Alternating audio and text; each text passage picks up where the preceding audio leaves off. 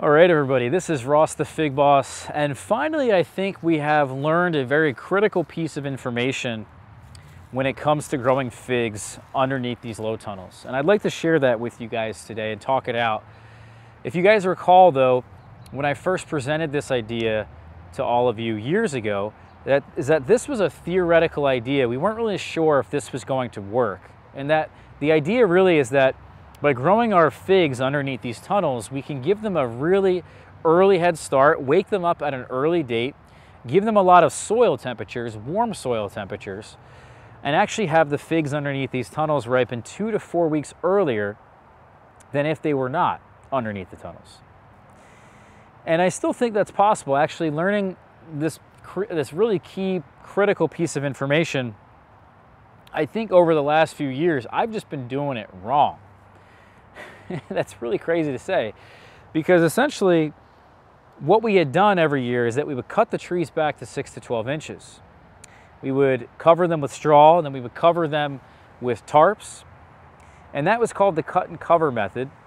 But the cut and cover method, after not protecting any of my trees this year and just pretty much doing an overall lazy hardiness experiment, um, really I was just very busy guys, but the point is, is that I saw the same exact things happen with the trees this year than they had in the prior years underneath these tunnels. And I had blamed actually a lot of the dieback that I saw last year. If you guys recall, I had COVID. And at the time I had COVID, I was not able to really get a close eye on these trees and really observe what was happening underneath this, these tunnels here. And I blamed actually for that entire season of really late start to the season because I blasted them with heat too much and that the temperatures underneath these tunnels, it got too warm and we actually fried the trees. Uh, that to me, I think is just not the case. Last year, the year before that, and I think we may have even been doing this a year even prior to that. I'm not, I'm not sure how long we've been doing this method for at this point. But whether this is the third season now or this is the fourth season, doesn't matter. The point is now is what I've learned is that actually the dieback that I saw with these trees and the reason why they were not waking up properly is because of the cold. The cold was killing them. Even through the cut and cover method, which I thought would be enough, uh, really is not enough of a, a, a level of protection in the cold. In that really what needs to be done is I have to have a lot more mulch underneath the tarps. The basic level of straw that I've put down in the past, it really just has not been enough at all. Uh, to really insulate an area, you need lots of leaves, lots of straw, throw the tarps over top, and keep the tarps airtight. That keeps the insulation trapped in that mulch and in that tarp. And that's really the only way this is gonna be possible. Regardless if you're doing a, um, you know, a cut and cover method where I cut the trees to six to 12 inches, or regardless if you're, you're doing instead some kind of limb bending, or if you're doing a low cordon method with, with your figs, or a Japanese espalier, they have to be protected. They have to get through the winter time. Um, and then the trees need to be able to leaf out from that growth from last year. Rather than having to send up a sucker from below the soil or somewhere else on the trunk of the tree uh, it's really critical to actually have the tree survive the winter. Once the tree survives the winter and you're not seeing any dieback, you can blast the heck out of these trees, I've learned. Um, I did that this year uh, after realizing that actually it is the colds that killed them. Let's blast them. And actually I'm seeing good results now. Um, by warming up the soil as we're supposed to, um, the trees are waking up and not only are they waking up, but they are putting out lots of growth that is competing and even surpassing trees that, well, have um, leafed out on their own without any sort of assistance from a greenhouse. Uh, and I would argue they're further ahead in their development. So it's definitely a, a, a, a guarantee at this point that when you get these trees woken up at an earlier date, we need to get them woken up a month earlier so if we want to have fruits that ripen a month earlier, we have to wake these trees up a month earlier. And the only way you're going to be able to do that, again, is by protecting them throughout the wintertime, guaranteeing their survival. What is a guarantee, as I said, is after they survive the winter, after they start to wake up, after they start to leaf out, that new growth, because of that excess soil temperatures that is provided from this greenhouse effect with the tunnel, it is an exponential amount of growth and production that you will then see from that point. That is an increase larger than a tree that receives no head start. And that's really what we're competing against here. Because the trees underneath these tunnels, that's the question. Can they beat out a tree like these trees over here that we have planted in the ground?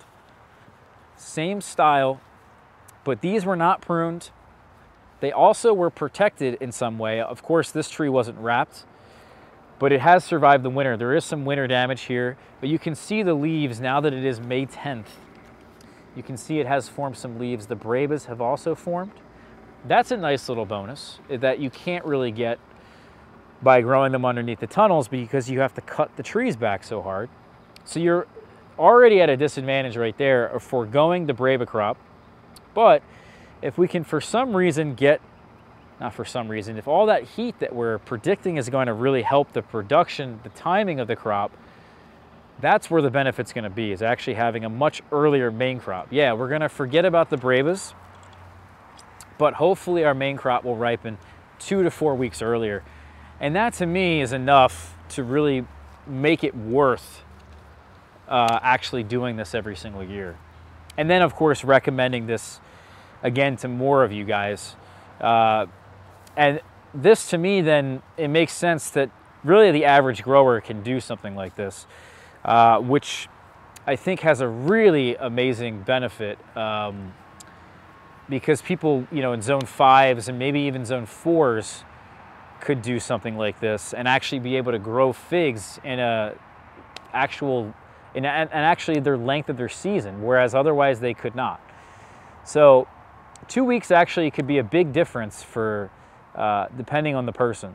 And uh, for me, that's where I'm kind of leaning here towards and, and looking at is that this still is a failure. In fact, we won't really have any sort of data this year on when the figs will ripen um, compared to that tree over there, uh, you know, pegging them against each other uh, because this is just for this year, it's already kind of broken at this point. Uh, we didn't get the potential. We did not realize the potential that we should see, and therefore it's not really a fair comparison. Of course, I will be comparing just in general, but it's not really a fair comparison. What you'll see though underneath here, and I want to show you guys a little bit of this, because this is what happens every single year if you don't protect them is that they will leaf out from a much lower point because the trees are damaged. And this takes a lot of time for them to leaf out like that at a lower height. In fact, a lot of this under here is dead. And that's typically what I had foreseen in the past was that thinking that the heat was blasting them and it wasn't the cold, I had assumed the cold did not kill them. Well, because I protected them right? I thought the protection was enough, but it turns out it wasn't. But as you can see, here's a, uh, and there it is, leafing out down there. And all this growth up top is dead. So all this stuff, and it was even higher, I think, uh, before I cut them to put the tunnels over top. And all this stuff will die back very slowly. This is what I had thought was dying from excess of heat when in actuality it was the cold. And then now we have growth down below that is forming and it will send up actually more suckers down here over time. Um, the base of this tree typically survives every year, the closest growth to the ground. And then what happens is this process of regrowing from the base is very slow. Um, the growth that comes out from these growth tips here, guys, the growth that comes out from wood that has lived it leafs out quicker than growth that is forming from the, from the soil or below the soil. Here's another example. This is a Campaniere tree that did not survive the winter. You can see again how tall that is. The camera just on the tripod flew off. But anyway, that is the new sucker and the new growth that's coming up from the base. The good news is, first off, the tree is not dead. It is putting out a few new shoots down there. And the good news is also potentially this is competing in where it should be with that other tree that we looked at that again was not protected, not pruned, but did survive the winter. Um, so that's what you have to happen. That's what has to happen. You have to get it through the winter time. That dieback will occur and this restarting process, it doesn't matter how much heat you give them. If they die in the wintertime like that, the regrowth process takes a very long time, unfortunately. Um, so it's just not something you want to do. And so if we can avoid it, we should. And uh, that's kind of my little update here for this this method. Uh, I'll update you guys. Obviously next year we're gonna do this again. We're gonna figure out exactly, hopefully, when these trees um, will actually ripen their fruits with this method. And uh, hopefully we can have something substantial there. But anyway, guys, thank you for watching this one.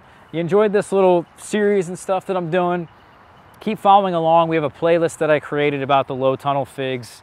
You can see that on the YouTube channel and hit that subscribe button. Uh, obviously, I'll keep you guys updated and that's the best way to do so. So take care, everybody. We'll see you soon.